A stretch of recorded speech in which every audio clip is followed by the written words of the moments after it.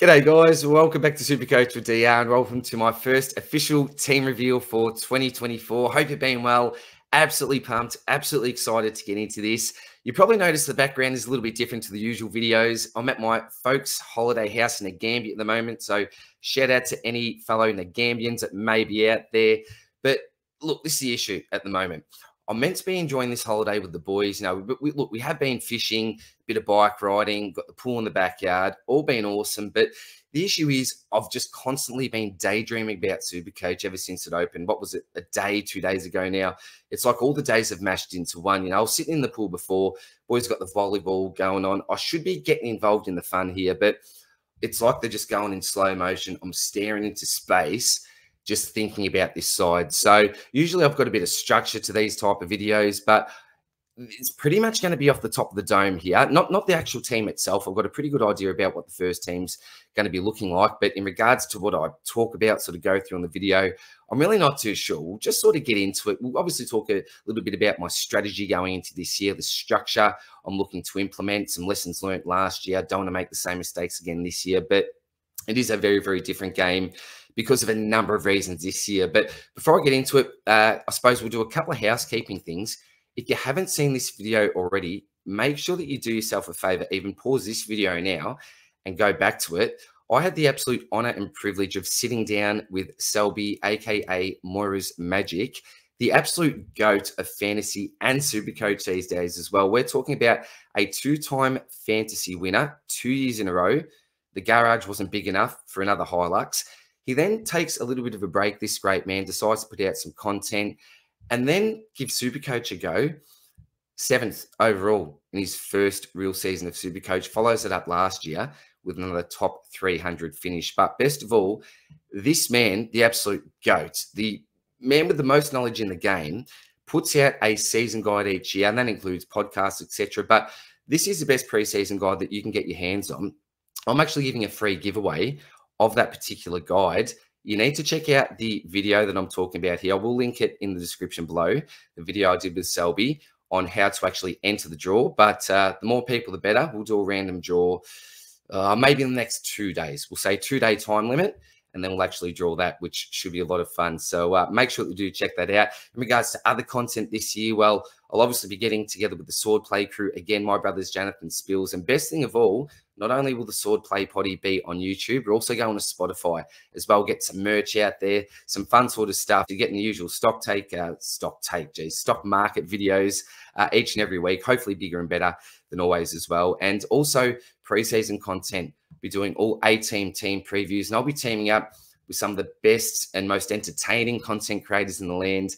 Uh, for example, I'll give you a couple of clues for the two legends I'm getting on for the Richmond team preview. Um, this is a really obvious one. Uh, I just can't come down about one of the guys that I'll be getting on, and uh, should be a swizzling good time as well. A couple legends there just look forward to for one of the team previews. But uh, as I said, apart from that, usual team uh, reviews each week and all the rest. But um, look, what do I talk about now?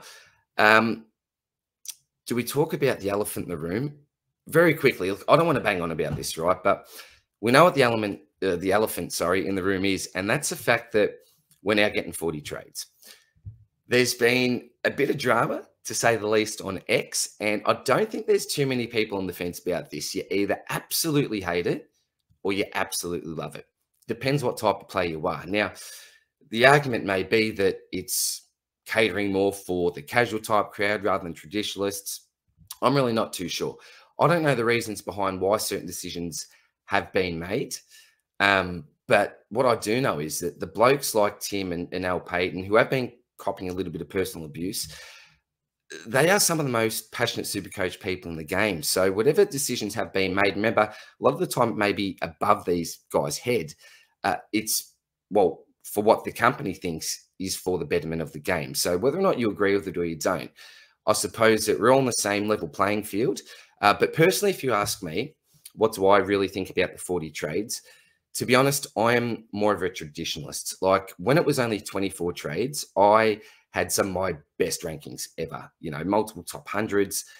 I enjoyed the game, I suppose, a little bit more when there was only the 24 trades, and I had my best results in. So in a perfect world, I would like to lower the trades as much as possible. I think it punishes bad starting teams. But if you look at my year last year, I had a terrible, terrible starting side. And uh, without some of the boosts and the new changes in rules, I wouldn't have been able to claw my way to a top 2000 finish. So there's different ways of looking about it, but purely from the heart as a traditionalist, traditionalist, I like less trades. I think less trades are better, but the game has evolved. This is the thing. And look, I know that COVID may be a little bit of a thing of the past, but there had to be different adaptations to that. Some people are calling it fantasy light. Um, look, there's yeah, a bit of banter about it, but uh, whatever you or however you feel about it, we need to live with it and just move forward. But just with some of these personal attacks, it's just not on. You know, some people have really crossed the line, in my opinion. I, if you know me and you've been following me, I'm not someone that ever gets involved in the politics, right? But I have had to make a couple of comments. Um, I've even been accused of uh, brown eyeing the blokes from Supercoach. You realise that they won't give you more trades, DR, this type of stuff. But I just didn't like the, the personal type attacks. And look, I'm all for great discussion, right? This is one of the best things about the game. And this is another thing that Selby mentioned on the video is one of the most well enjoyable aspects in, in our opinion anyway is a discussion about the game. And you don't have to agree with everyone. Some of the best discussion is when you do disagree you get a bit of a different viewpoint but you need to do it respectfully. That's all that i'd ask. I'm not going to bang into things. And that's a great thing about um, you know for example the super coach or dr members group. We give each other absolute crap but it's always in a fun and, and lovable type way. And uh, we will have a new tier of membership as well. And all money does go to charity for that. So we'll talk about that in another video. Not going to get into that stuff because we want to keep positive with this. And um, we want to start showing some more love in the super coach community. I think particularly on X, uh, there's some wonderful people on there. And as I said, I'll be having some of these great people on the channel as well. But uh, look, where do I go? Look, I've talked about the 40 trades. Um, look, let's actually start to lock in this team. You know, let's get positive. As I said, all in the same playing field. We're all level. So uh, what I'll do is I'm going to start to lock in this team. We'll talk about the strategy. I'll talk about the players that are pretty much on my watch list. There's a couple of placeholder type picks here that you'll see in a little bit. And uh, with the 40 trades, I have had to shift a couple of things slightly. But one thing I am going to certainly do this year is back my gut. And just very quickly, if I look back to my original team review that I did or team reveal that I did last year, well, Fast forward to actual round one when I started my side, I end up with Ridley, Doherty, and someone else. Who do I have and back my gut with? The first side that I actually put out there, it was actually Sicily, Daicos, and Dawson.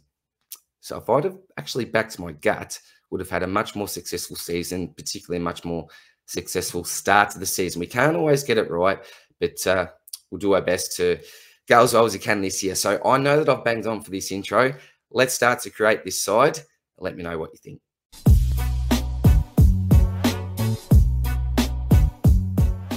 All right, now let's start to lock in some players and talk a little bit of strategy here. Now, as I mentioned before, I had a bit of a terrible starting side and it killed my season last year.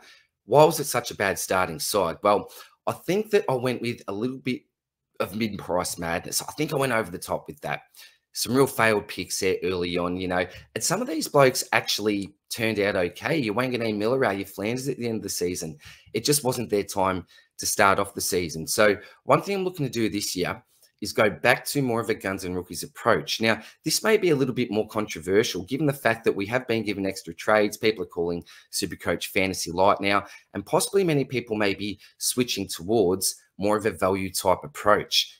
I may be getting it wrong here, going more your guns and rookies.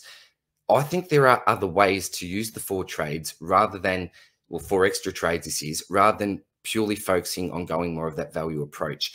Again, I may be getting it totally wrong. And this is why I'll be chatting with blokes like Selby and getting that season guide to try to get a really nice balance to my side. But again, going back to last year, I didn't back my gut with some of these picks. I listened to some of the group talk, the group hype, and it killed me at the end of the day. I need to back my own gut. I'm going to live and die by my decisions. I'm going to put my ideas out there. And again, I never call myself an expert. I'm going to get some of these wrong. I'm sure about that. But hopefully, I get a few right as well. It's all game, all fun at the end of the day. So, more of a guns and rookies type approach. I'm not looking at anyone pretty much over 400k that I'm going to select in my side that I'm not going to assume is going to be a keeper. That's why I'm looking at the moment. So between that sort of maybe four to 500K mark, that's really an area that I'm not going to look at this year.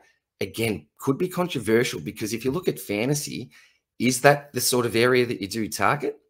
It may be. So I may be wrong here, but let's go. Now, Nick Daicos, 59% so far.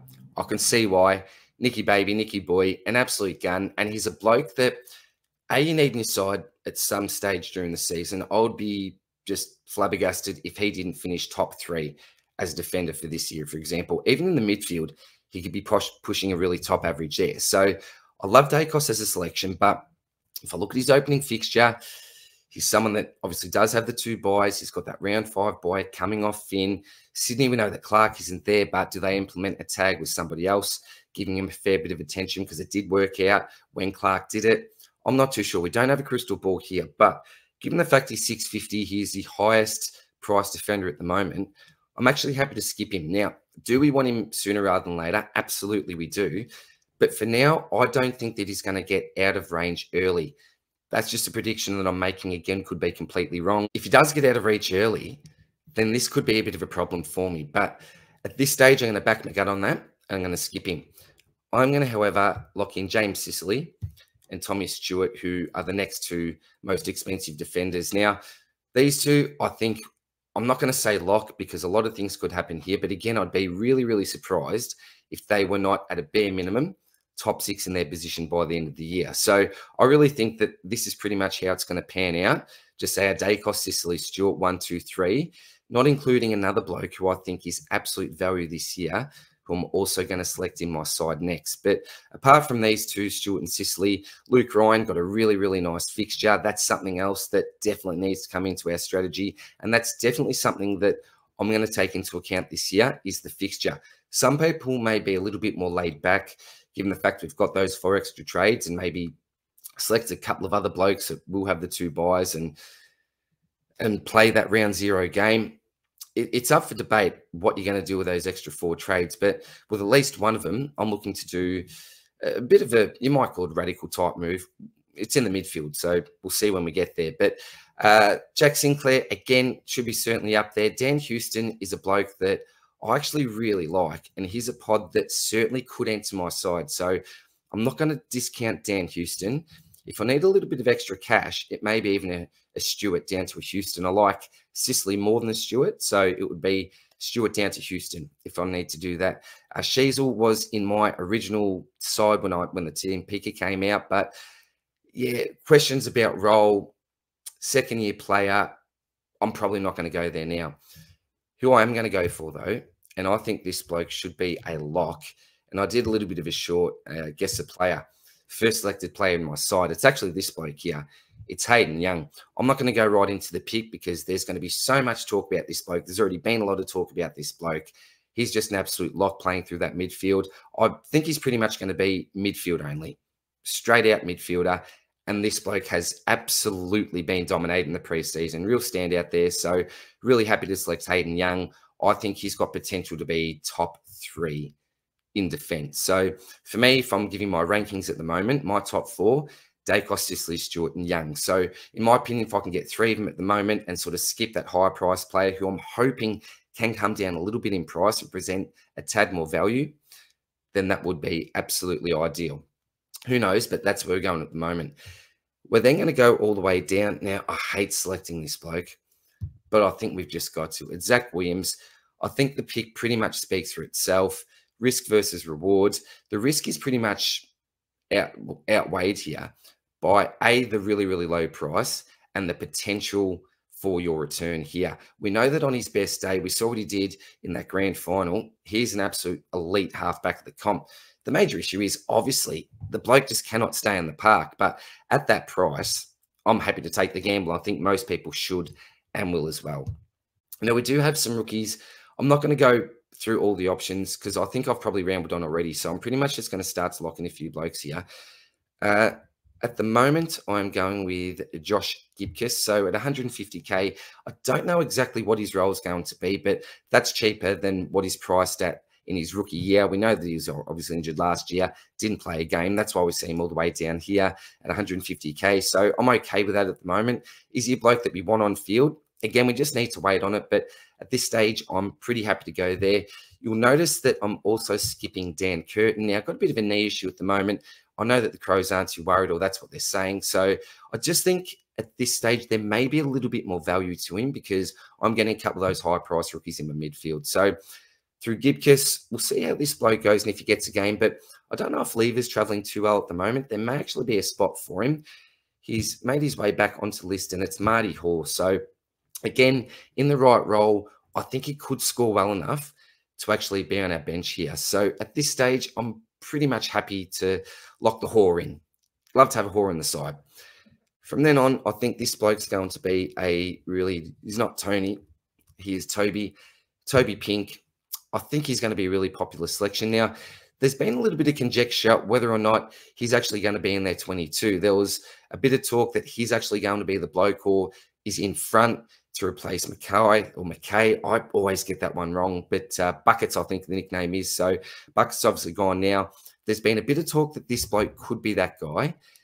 Uh, will he be? I don't know. So we'll need to wait on it, but I just think that he's a pretty easy placeholder to have there at the moment. And the other bloke that I'm going to select here, oh, I've just got rid of Toby. Sorry, mate. Is another player. I think he was top 10 or was a top 15 draft pick. Made his way across from the Saints, and that's Nick Coffield. So again, one of those players could certainly replace a Gibcus or a Hore on field. I don't know what Bevo's going to do, but I think he's going pretty well, tracking well in the preseason. Similar to someone like a Zac Williams, a pretty promising type player. Well, he's no Zac Williams, so he's achieved nothing that close to what a Zac Williams has. But in his own right, the similarity here is that both talented players, but just cannot get their body right and get on the field. So hopefully that changes scenery, change the environment, maybe change of medical staff. That's no dig at St Kilda whatsoever there. Wouldn't have a clue what goes on there. But uh, sometimes this is the best thing in the world for a player. He's got the potential. I'm hoping he can secure maybe a halfback role. Who knows? Could he push onto a wing? I'm not too sure at this stage. He could get bevoed, but at 123k, I'm pretty much happy to go there. So I've gone with the three premiums there, who I think will be elite keepers for me. Williams, I think you've got to select, and then we're looking at the rookies there. And I think these guys should all present pretty nice value. Give me at least that 150k, let's just say. And again, with the 40 trades, traditionally we think that a trades, well, I'm in the camp that a trades varied at around that 150k mark. That could come down with those extra four. Do we look to move a couple of rookies on potentially earlier? Well, that's what I'll most likely have to do, given the fact I'm going more of a guns and rookies approach. So that's the defensive line. Let's get into the midfield. So this may be a little bit controversial. Now, I have not looked at any team uploads or team reviews yet from any of the other content creators. I'm really looking forward to doing that, but I wanted to really go into this unbiased. And I'm guessing, this is just an absolute guess, but I might be even close to a lone wolf here. I don't know if anyone else is even going to go for this man in the content creating community, but I'm prepared to back my gut. I put out a video that went for a good 25 to 30 minutes, a deep dive player profile and I gave all my reasons for selecting this bloke. I tried to make it a balanced view or a balanced approach. Certainly went through the cons, and there are cons to this pick. He's the highest priced player in the game. He's coming off a bit of a preseason cleanup. We say preseason surgery, but I'm looking at it more of a cleanup. I go through all this in the video. It's obviously Marcus Bontempelli. Sorry, Brent, you're calling me at the moment, Blocus. I'm just doing this video, mate. So we'll get back to you when I can, mate. Uh, but back to the Bont. One thing that I think is a little bit underrated is your captaincy option. Now, we've certainly got loops this year through the byes. So I'm not starting a loop. I'm a big advocate for normally starting a loop. We don't have to this year. So some people may say having two bites of the cherry, even without that loop, you don't really need that reliable captain. You could select, say, your Butters type and somebody else. Go back to the Bont video and I will be doing a Butters profile. I'm about three quarters of the way through it at the moment. I go through some captaincy numbers there. This bloke, along with Tim English in the rucks, we'll see if I'm going to select him when I get there. For me, anyway, are the two clear standout captain options week upon week. Bont went under 100 once last year, and that was an 89. We look at the ceiling. He's got the best captain ceiling in the competition. We know that blokes like Sicily on their good day can give you a really nice score, the 170 type scores. But if you go back to that video, take a look at those scores. If you want to just lock in a safe captain from week to week, then I think Bont's got to be a man if you're not going for Tim English. Now, back in the day, we had no problem paying up 700, 750k for Gawn back in, was it 2021? I'm going to say 2020. It was Grundy, I think 700k plus for these rucks, the old set and forget. What's wrong with setting and forget a midfielder like a Bont? I think he's the best of the best. If you look at consistency, the bloke has gone 100 plus 41 out of his last 45 games, being last two home and away seasons in Supercoach. Talk about consistency, crazy. And history does suggest, one of the cons, that it's very rare that the highest scoring player in the game can back that up and maintain it. But I think if anyone can, it's this man, Marcus Bontempelli. I love the bloke. I'm not going to ramble on too much more about him in this video because I did do that pretty much, yeah, deep dive player review. So enough on the Bont. Absolutely selecting this man in the side. Now, the next bloke that I would actually really love to get here is this man here, Tom Liberatore. Could he be an alternative to a Bont? Possibly. Now he's at 4% at the moment. So I really, really like that ownership. So there may be a stage where Bont enters the side. Not too sure at the moment. This guy, I think, now again, talk about some cons. There are certainly some cons to this pick, but I'll tell you what, a little bit of a preview into the uh, Selby's Moreiras Magic preseason guide. I think you'll see some nice numbers for this man particularly if we focus towards the end of the season. Now, if you can get over the fact that it's a huge risk durability wise, this bloke again just can't get his body right. Difference between a Williams type and let's just say that the Coffield type I've selected down back is the price. This is a big risk because we're paying up for this man. But talent wise, if you look at price projection, if you look at scoring patterns, he can be one of the best of the best and one of the absolute uber elite. So I've just got my fingers crossed that he gets his body right. We know that he may be a burn man for lots of people last year. I never owned him last year. We know about the laid out and all that drama. But I just, the upside to this guy, apart from that durability, which is huge downside, is massive for me. So at this stage, I'm quite happy to lock this young star in. I really think he could take his game to another level. Now, when it comes to the 40 trades, this is where I'm going a little bit funky. And this is where we can talk a little bit about strategy here. Now, you notice so far with your Sicily, Stewart, Young, Bontempelli, and LDU that none of these blokes will play round zero. So only one bye for the year. Uh, Fremantle and Port have a fantastic bye. You've got Young there so far. We are going to select a Port player in a sec. Actually, I think he may be, is he priced at a higher price than this man? Yeah. All right. We'll quickly just get this bloke in. I'm not going to talk too much again because I'm going to do a player profile video on him. Now, the downside to, to Butters is last year he had a huge spike in CBAs, which I'll talk about in the video. But there has been news again that, uh, what's his name? Oh, Ollie Wines, the ex-Brownlow medalist, had Roseanne Mehed. Ollie Wines. He only had around 50% CBAs last year. This just from memory. This year, they see him as pretty much getting back to what he does best, and that's as a pure inside mid. So you had Boak last year, only had your 13%. Doesn't really affect someone like him. So it was really Butters and Rozee, they're the two main men there. You chuck your wines in, what happens with a Willem Drew, for example? They want other players. You've got your Horne-Francis as well, which is a huge addition to their CBAs. I think it was 48% or high 40s, mid 40s last year. So it's going to be really interesting to see what happens with that mix. I don't think it's an absolute guarantee that Butters CBAs continues to rise. I must admit that that was probably the expectation for me. But with this Wines news, I won't say that it spooked me whatsoever. I'm going to lock this man in. Really like his prospects. One of the most exciting players in the comp love to watch him, but you've sort of got your hands over your eyes at the same time with his kamikaze style. Just look after yourself, Zachy. Don't go in too hard, son. Maybe just 90% rather than 100, but he won't change his game. But yeah, huge fan of Butters. Won't go on too much. Pretty much going to lock him in. Let's get to the bloke that there was no way I was going to select. But I've got a, little bit of a plan at my sleeve here. So this is going to be one of your classic flips. Now, when I say classic flips, for me, I wouldn't say it's a classic because I never do this type of stuff. I never look to do this. It can be very risky as well. But here's my method to the madness behind starting with Tom Green, and what I'm looking to do with Tom Green. So he's obviously got a really, really early bye. We all, we all know about that. So it's going to be round three. Round zero, he's obviously going to play. One, two, he plays. So you're going to get three games. Remember, round zero doesn't count for super coach. Prices do, but the score doesn't. So you're going to get two scores from him. But in that round two game, his price would have hopefully, fingers crossed, increased by then. Then he's got his bye. So given the fact his early draw is absolutely delicious, I don't really care about what happens in round zero. I'd like him to get a nice score, obviously, so his price goes up. I'll get at least one price rise, or I'll get one price rise from him.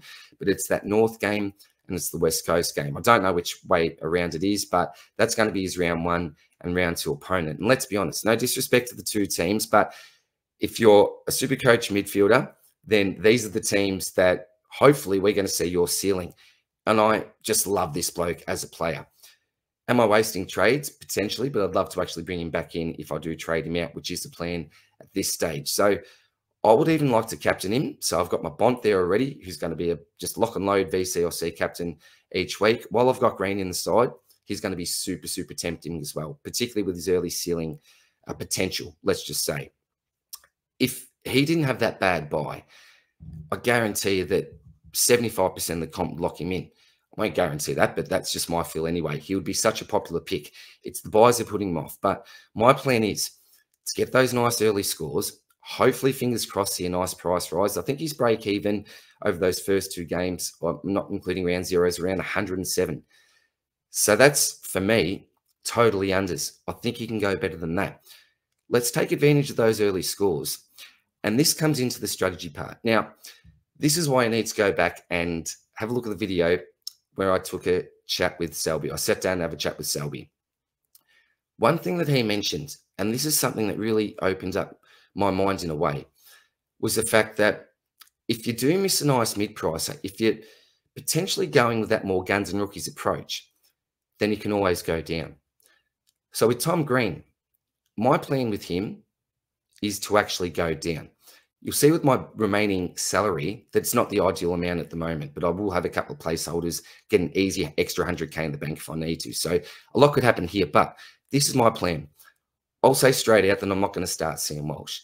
That may be absolutely crazy in some people's opinions. I love Sam Walsh, absolutely. Do I want him in my side? Yes, I do. Great value, 100%.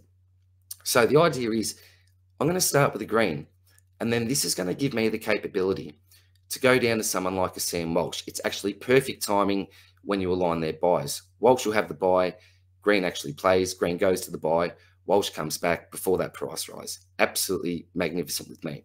It works out so well. You'll get that data on Walsh. Is he actually the man that we think he's going to be?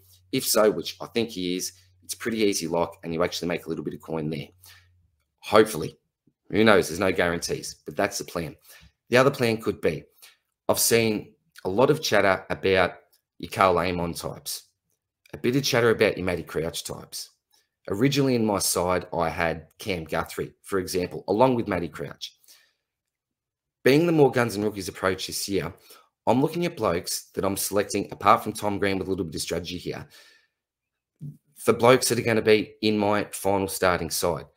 Will the likes of, of Crouch, Guthrie, certainly not. I don't think we can say that at all. Um, and a couple of the other blokes that I've mentioned already, will they be in our final starting sides? Crouch maybe give you good enough average to be your M8, possibly, and you may be happy with that, absolutely. But if you look here so far, your Sicily Stewart, your Bont, and then you go down to your LDU Butters types picks, we are paying a lot here, but there's the, I'm not going to have to select these blokes or stress about bringing these blokes into my side because I'm starting with them not selecting a Bont, how are you going to get him in? What's your plans? It could be to use those extra trades. If that's your plan, great. But I'm not going to want to stress about that. I could have some stress with Daicos if he goes off early. But my plan is to get as many players in right from the start that I won't have to stress about. The type of blokes that have the potential to get right out of reach. And by the time you think about things, you're like, well, I just, there's no way to get to them because I've now got to look for a bit more value because there's other areas that I also need to upgrade. I want to start with them. I may get punished. I may lose cash. And I know that Bont's going to lose cash at some stage, but due to his consistency, I hope that he's going to stay there. So that's another thing I'm taking into account with my picks. So the great thing about Tom Green is that I can go down to Walsh, who I think is definitely going to be a keeper in our midfields if you want to go there. Or else I can go down to a Matt Crouch, to a Guthrie, to a Karl Amon type, who is red hot, I think, with lots of people at the moment. I've got the ability to do that from a Tom Green. As Selby said, it's so much easier to go down rather than find the money to go up. So if a couple of these blokes don't work, or if even one of these blokes don't work, you're in such an awkward spot early on. I know we've got some round zero data and all the rest, depending on what players you're looking to select, but that's a big part of my strategy.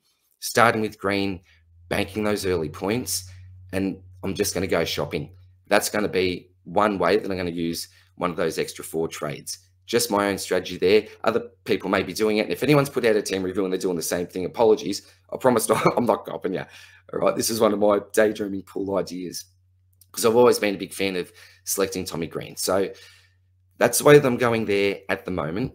So he's the only player so far, premium wise, that don't have the ideal bye structure. When I mean by ideal, there's better buyers than others, but won't have two byes. They'll just have the single bye.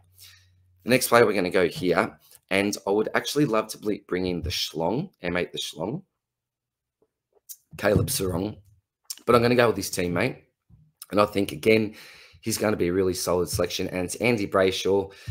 You'll notice another bit of a theme here is pretty much next gen type players. Now, I know that Sicily and Stewart are pretty much our stalwarts here, but Young, certainly next gen here, along with your LDU, your Butters, your Green, your Brayshaw. I think that's where I'm going this year. I've got no faith in the Clarry. Don't know what's going to happen with the Clarry. A Lachie Neale type. I don't love Brisbane's fixture, but even if I did, I'm going next gen. He won the Brownlow and all the rest. We know that, but I just like the, the, the new style of player that are really coming into their prime, about to hit their peak and obviously players that I think will have a really, really decent bye. So they're really going to be my five main premium midfielders here. We've got the Bont, LDU, Butters, Green, as well as Andy Brayshaw. Now we're going to bring in a couple of rookies here, and these are going to be really, really popular players. And I think I'm not going to say must have, but I think you'd be pretty much crazy, at least if you didn't have have them in your side at this stage and it's Colby McKercher. And the other really obvious one here is Riley Sanders. So both blokes here have been lighting it up in the preseason. So McKercher, he's hopefully looking for one of those half back roles. Again, we've got a number of players that could be looking to do that. You go to your Fisher, bit of a hamstring setback. Don't know exactly what's going on with him there. Uh, you got your Bergman type. So there's a, are a few blokes that definitely could demand the role, but he's certainly got the talent. He really has been lighting heads I think it was, I forget what the exact quote was, like, what the hell is going on here with this bloke from Jy Simpkin? Just amazed with what he's producing just in your preseason match sims and all the rest. So McKercher, definite uh, in for me at the moment. And then his Sanders, again, been turning heads. And this is very stereotypical preseason type stuff, but genuinely, I think this bloke could be a star and actually demands a little bit of midfield time. He has been spending some time there in the drills. So McKercher and Sanders, I think, are going to be fantastic picks and very happy to pay up at the moment. The next fella has also been getting a little bit of a preseason hype up, and it's Jeremy Sharp. So obviously a wing spot. Sorry, just clicking him. Just a, there's a wing spot available there with Henry gone. So I think he's leading the race at the moment. All the match sims, he's been there, performing well, producing some good form. So I think he's a pretty easy selection. Probably more on your bench, I think, than on field, but let's just see what happens there. I know they've been keen on him for a couple of years also. Uh, the next bloke we're going to get is Mannagh. So lit it up in the VFL. I think one of the finals at six goal performance there. So talented type player. Does he actually get a role in the best 22 come round one? I don't really know. It's really tough to get info out of Geelong. So we'll wait and see there. But I think he's a nice DPP type player, mature age type pick, the sort of bloke that if he does get a game, I think can have an impact pretty much straight away. I think that's why they got him as well. Is it more of a backup or on field? Let's just wait and see. But I think a really nice placeholder for us there at the moment. Now, we've got a few options here. Uh, I will go with Jhye Clark for now. Really talented type player. I think the one game that he played, it was an injury affected game. But what do we look to see at Geelong? You see two Geelong players here, but again, Mannagh has DPP. A pretty easy switch with a couple of blokes up forward. But what do we expect from Clark? Well, hopefully some early games. I am again looking for some new gen type stuff here. Are they going to roll with your Dangerfields, your Guthries? Uh, I really just don't rate Parfitt. You've got your Bowes that could go through there. O'Connor types. You're going to have Blicavs in there at the moment. If they're going to go with that true ruck, he's could play a feature in there or could feature in there. So I really don't know what's going to happen with Clark. But again, early type draft pick, got the talent. Hope, hope, you know, pretty happy to just leave him on the bench at the moment. And then I think the last bloke we'll select here, there's been some decent reports coming out of West Coast, and it's Clay Hall. So in the match sims, he's actually been playing a lot of midfield time. So I think it was Rhino Daniels that tweeted out that he's a bit of an inside ball. He's a midfielder only. So who knows? There's should be spots up for grabs there at West Coast. And if he's in the main sessions there playing that role, a little bit of competition we know.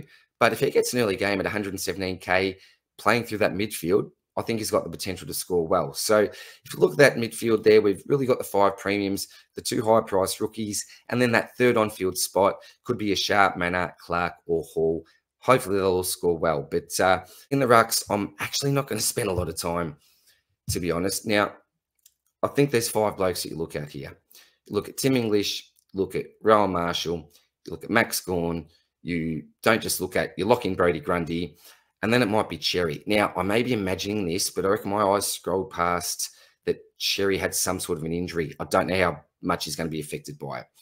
Anyway, I just I'm deciding not to go Cherry. As I said, I don't really like that mid-price approach.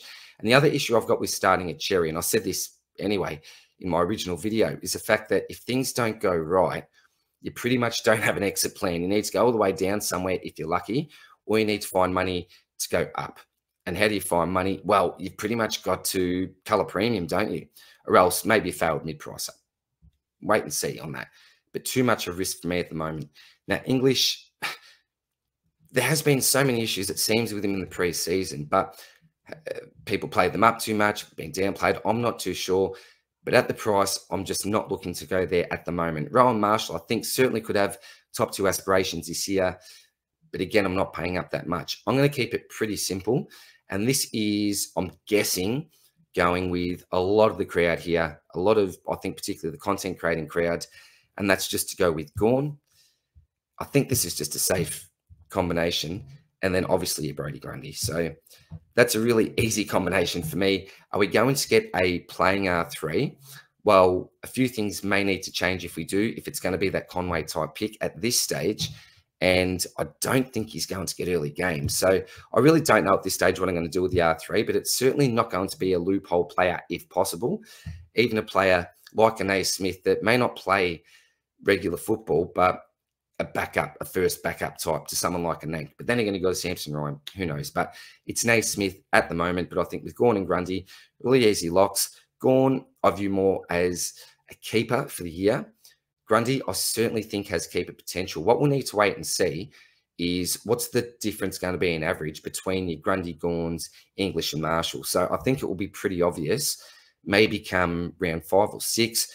Even with Grundy, you may want to flip him before his bye. There's a lot of things that you could do, but we'll get a little bit of data anyway, and I think a bit of a feel for how these guys are going to pan out, their average out. Draws come into it and all the rest, but that's pretty much my plan at the moment. And I would love to be able to just lock these two in for the whole season. We'll have to wait and see. But that is the ruck line at the moment. Now, as we know, I'm not yeah, telling anything you don't know here. The forward line is absolute carnage. I do not like it. So go back how much? We're not spending much here. Just over 2 mil. So just under 2.2 mil. So what are we going to do here? I think this one is pretty easy. It's Jack Macrae. Now, do I love Macrae as a selection? No. Do I trust Bevo? No. Do I know exactly what his role is going to be come the season proper? No. But when we look at other names here, Dogger Jackson, he's not going to be rucking anymore. It's going to be the Shrek. Uh, it's going to be Shrek Darcy. He's not traveling too well in the preseason Shrek, so who knows?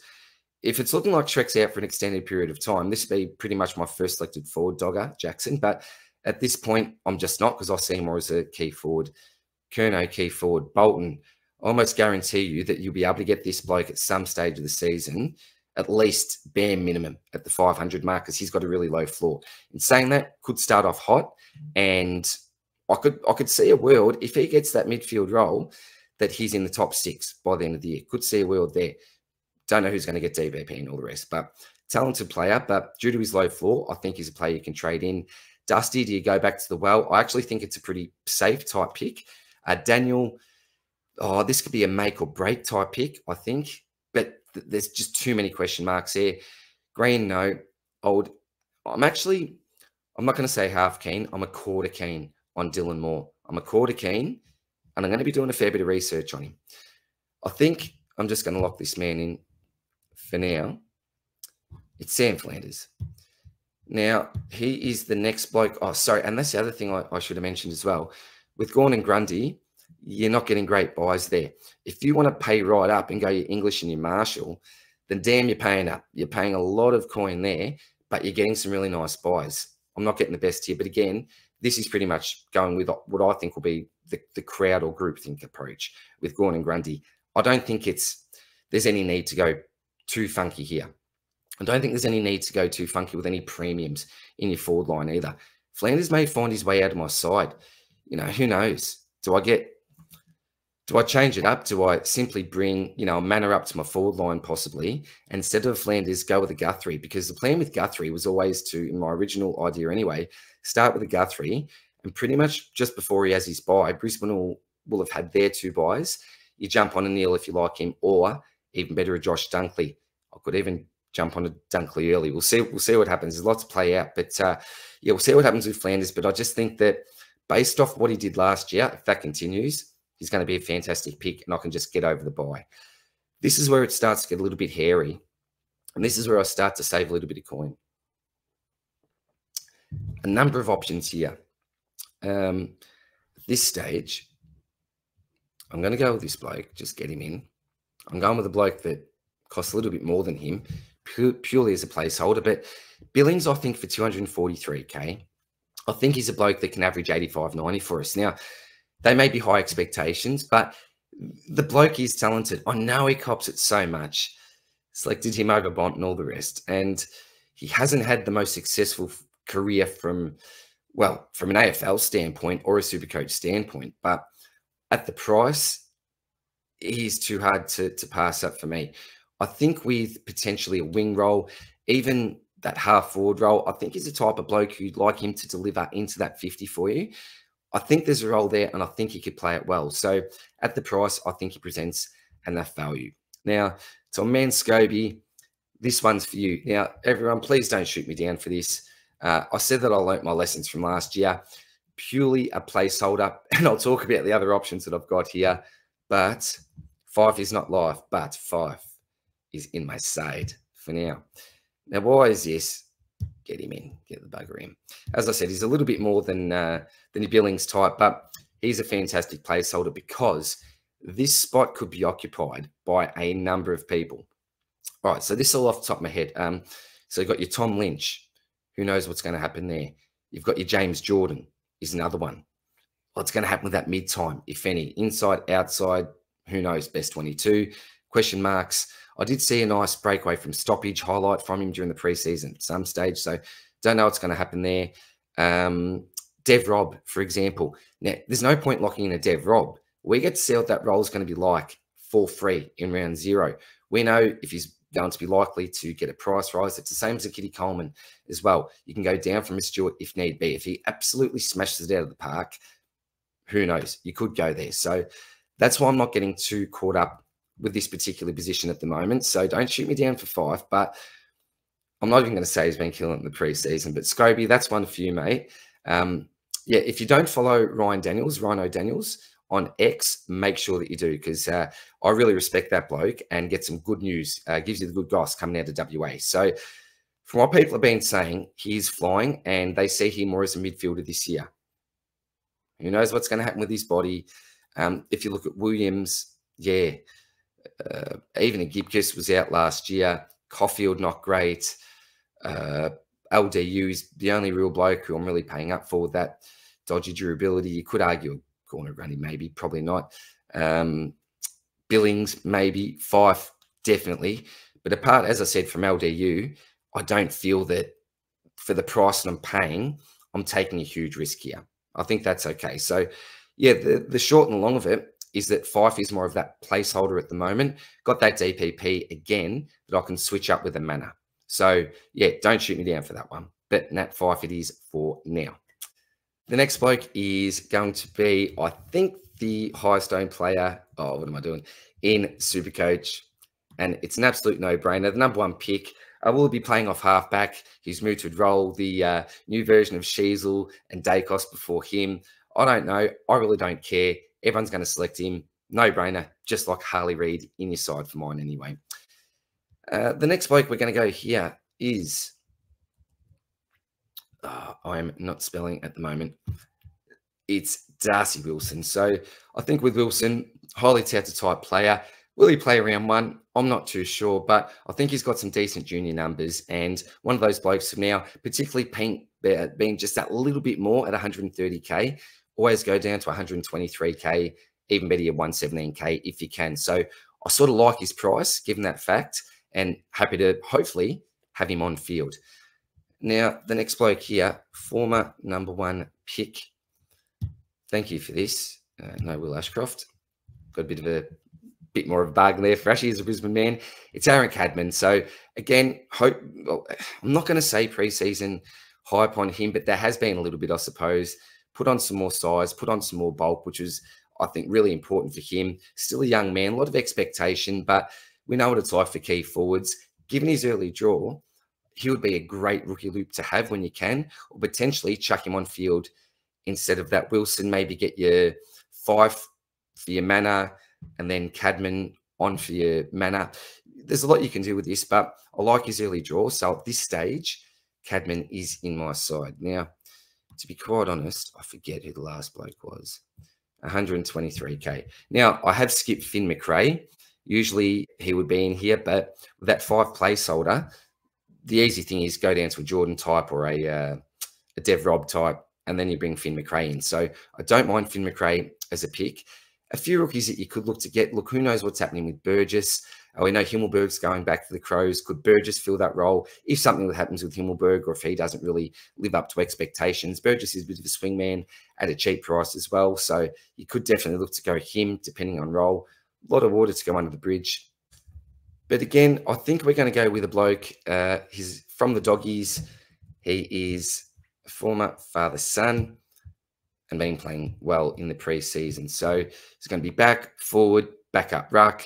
Probably not back up ruck, I'd say, because I think Lobb will be spending more time there, which again could be a slight downside to paying so much for Tim English. I really want to see what the split's going to be like there, the exact split. Remember in that last game, the combination works a lot better for the Bulldogs, not for Supercoach. I'm saying when Lobb did spend a little bit more time there in English, was more of that key forward target. So we'll see what happens there. But Darcy, I think at the price at 123k is fine just on your bench for now. So that is the team. That is the team. So uh, I won't lock it in yet, but let's talk again about what the structure is like. So we are going with 12 premiums here. The premiums, or the blokes I'm saying are premiums, a Sicily, Stewart Young. There's three, four, five, six, seven, eight uh, in the midfield with Bont, LDU, Butters Green, and Brayshaw. I'm saying 9 10 with your Gawn Grundy combination, and then 11 12 with your Flanders. Now, Flanders is at that price, it's under 500k. I said I wasn't really going between your 4 500k, but he's pretty much the second best option,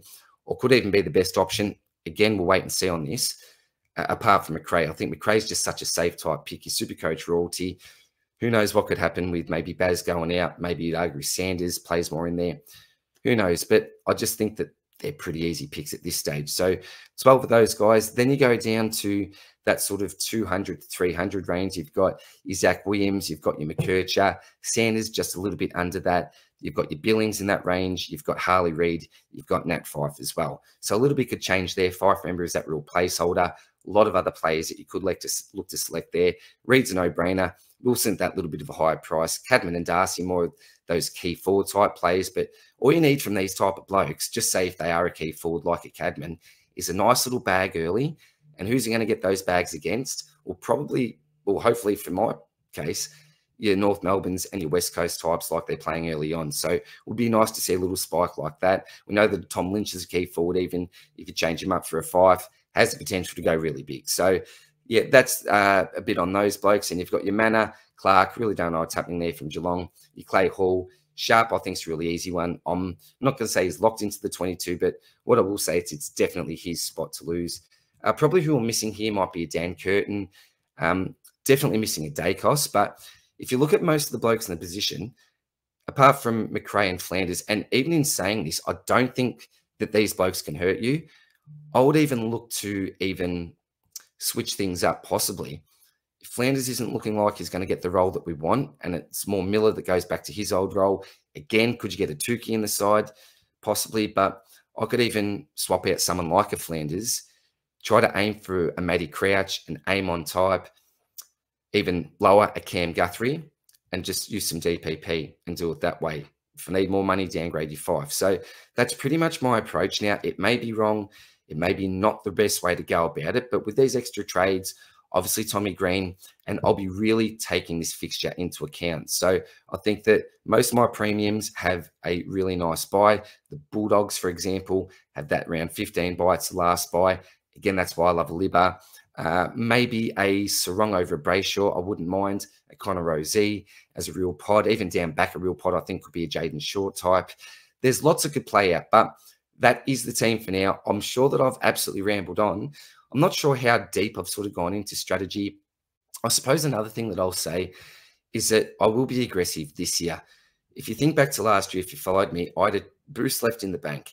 It's not going to happen this year. Selby, who I had a great chat with, he's an aggressive type player. I'm going to take that approach. So boosts are going to be used early.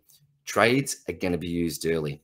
I'm going to get pretty creative this year because I just want to have a red hot crack getting back in that top 100. So uh, that is a team at the moment, guys. Uh, I suppose the other thing to mention quickly with those four trades is that what I'll be looking to do is to move on rookies a little bit earlier than what I would be. So instead of looking for that, say, 150K cash gen, with at least a couple of them, maybe it's that 100K quick flip, particularly if someone's looking really nice on the bubble.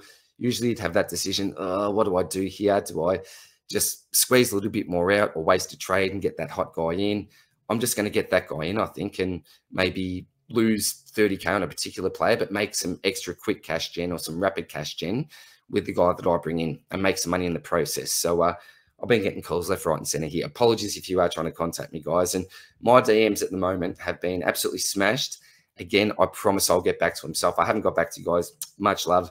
I promise it's nothing personal, but uh, yeah, look, there'll be plenty more to come in the preseason lots of strategy talk. We're going to take a deep dive into every relevant player.